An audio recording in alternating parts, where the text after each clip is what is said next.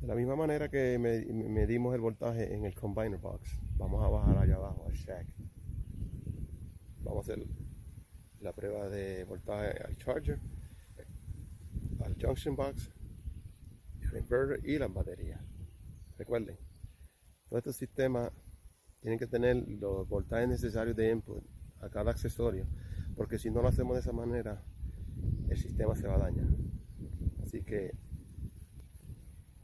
vamos abajo. más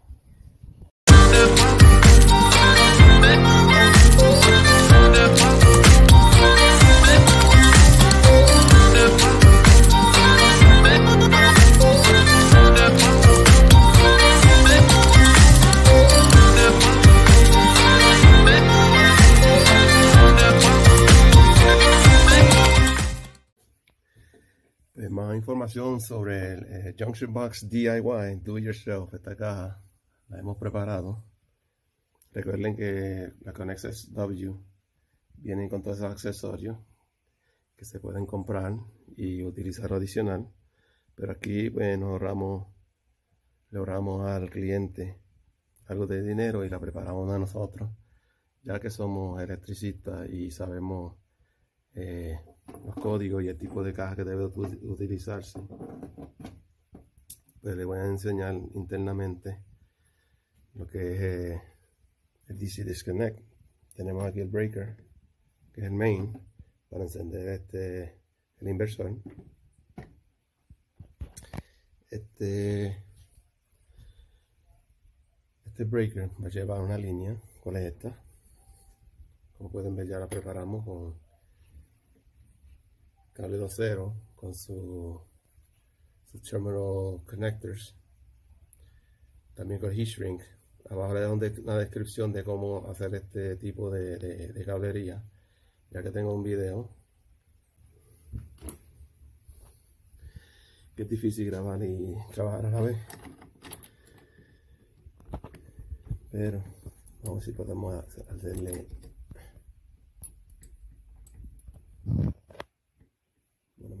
demostración, ¿verdad? El propósito del video. Lo que hacemos es que instalamos el terminal, lo ajustamos a sus presiones adecuadas. Luego este cable se va a conectar en el, en el vivo inversor. Tenemos el negativo ya instalado. Y aquí tenemos ahora el positivo que viene del main breaker a la arandela de presión. Lo bueno de preparar esta junction box es que todo queda interno dentro de la caja. Se le pone la cubierta. Se le pone la cubierta. Luego el System Control Panel, ese hueco que ven ahí con el cuadro blanco, que se lo integré a la caja. Básicamente, pues, es lo que conlleva la junction box, además del DIN rail, breaker de 60 amperes, para lo que es el charge controller. Abajo de la junction box tenemos los bushing, que son de los cables principales. Este bushing, los cables vivo y negativo que van al banco de batería. Que lo localizamos debajo del inversor porque son baterías AGM selladas. Si fueran de ácido fuera otra historia, no se pueden ubicar debajo de lo que es el inversor, ni nada de los equipos, por los gases y, por el daño que le puede crear con el tiempo. Cuando tenga ya el sistema finalizado con sus parámetros, pues le estaré creando en otra parte del video.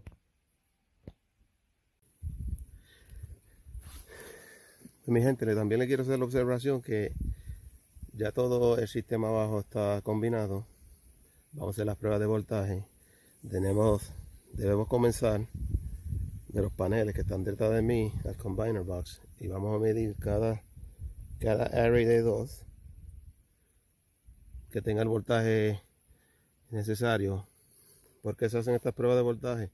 Porque no queremos que el voltaje sobrepase eh, la capacidad de, lo que es el charge controller porque si, si encendemos y tiene más del voltaje, un alto voltaje puede dañar lo que es el charge controller.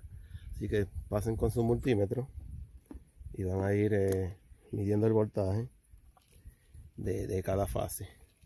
De, perdóname, de cada array de dos. En este caso tenemos aquí 89 de un panel, de dos, de dos paneles.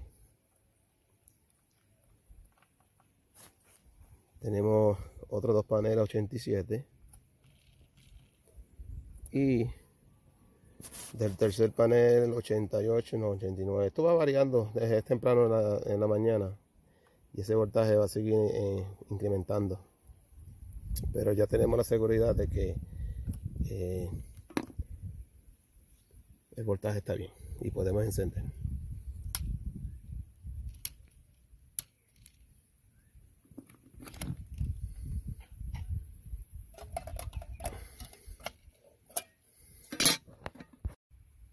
Llegamos al charge controller. Tenemos las puntas de PV positivo y negativo. Y tenemos que esos paneles allá arriba están creando en estos momentos 90.0 voltios. Eso es excelente.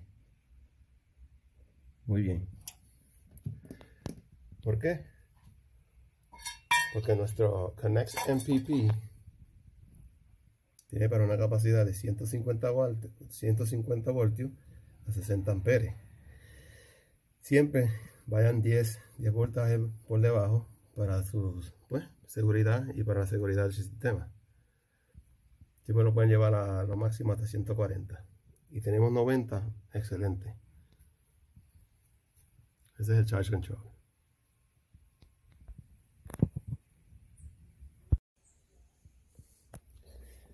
También tenemos que medir el banco. Recuerden que este sistema es de 24 voltios. Como le ilustra aquí el Canex SW. Eh, a 230 amperes.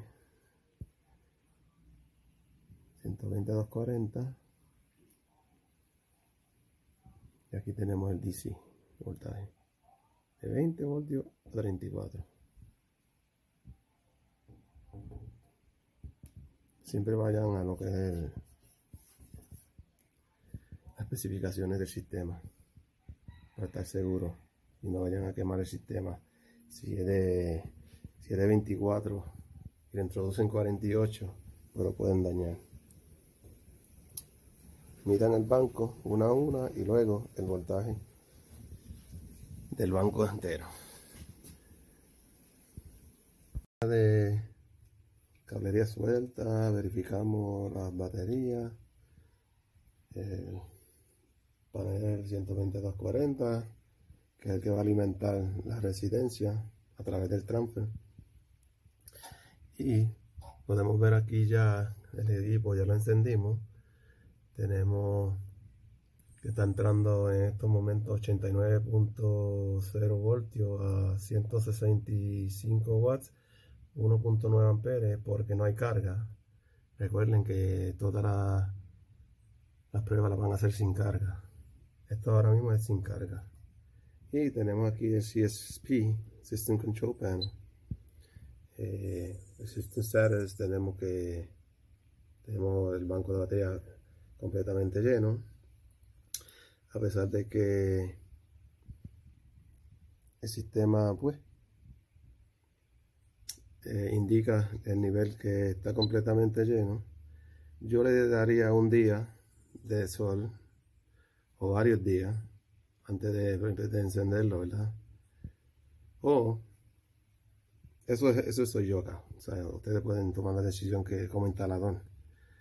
Eh, no tenemos carga, como pueden indicar, porque la casa está apagada y todavía no, no hemos encendido la residencia por la razón de que estamos haciendo las pruebas. Y tenemos de batería 26.5 fluctuando. Luego lo ponemos en, System Status. Tenemos aquí el LED de Inverter Enable, operando. Antes de, de, hacer la prueba de la residencia, pues deberíamos ver el voltaje a ver si tenemos el voltaje necesario para la residencia. Eh, agarren su multímetro voltímetro eh, y midan. A ver cómo le puedo hacer esto para que ustedes lo vean. Y tenemos un voltaje de 243 voltios que viene de la unidad Schneider Connects SW4024. Perfecto. Tenemos un voltaje ya. Tenemos el System Control Panel operando.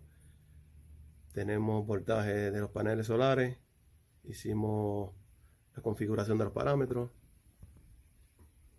Excelente. Midimos los voltajes de las baterías. Pues ya estamos en estado de encender el sistema.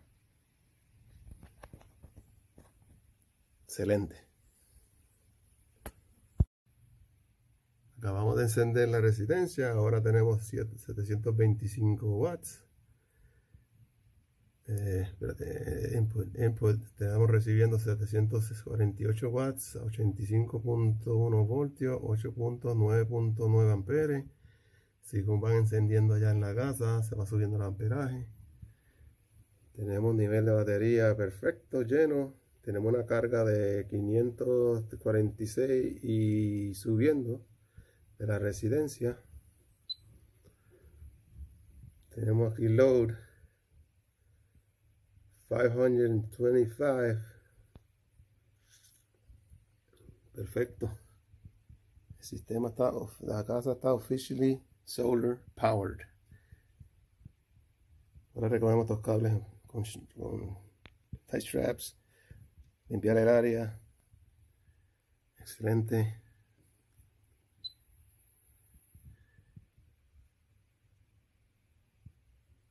Perfecto. Ve.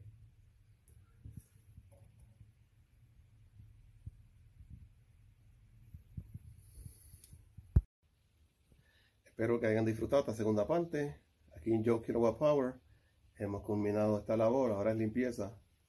Y Recuerden que este canal de Joe Kilowatt Power es para todas esas personas que le encanta la electricidad, los peritos electricistas que cada día a día llevan corriente y arreglan los sistemas o, instalan sistemas en las residencias en todo Puerto Rico. Recuerden que este es el canal que los va a poder ayudar eh, con sus grandes preguntas, ¿verdad? Así que suscríbanse en el canal, denle a la campanita para cuando tengan nuevos videos, pues los reciban instantáneamente. Así que Joe from Joe Kilowatt Power, nos vemos en el próximo.